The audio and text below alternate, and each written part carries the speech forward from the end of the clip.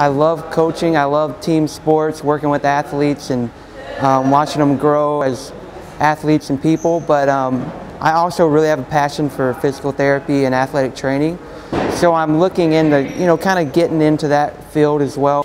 Student Athlete Advisory Committee is honoring a staff member every month who is associated or who has a direct impact on student athlete lives here at UNI.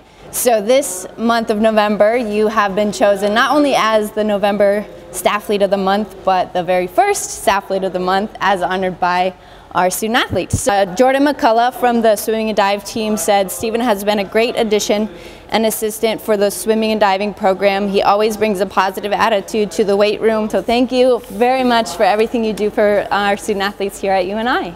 Thank you. We appreciate it. Thanks, Stephen.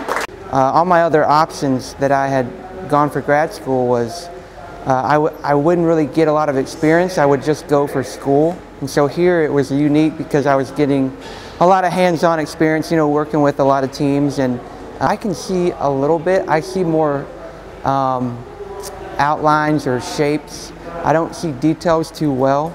Um, but if I were to walk up to a athlete at, at a squat rack, I could kind of see they're going through a, a certain motion, like a squat. But I've, I've found ways to get around that and um, different assessments that I can do to know exactly what's going on. So um, it's fun.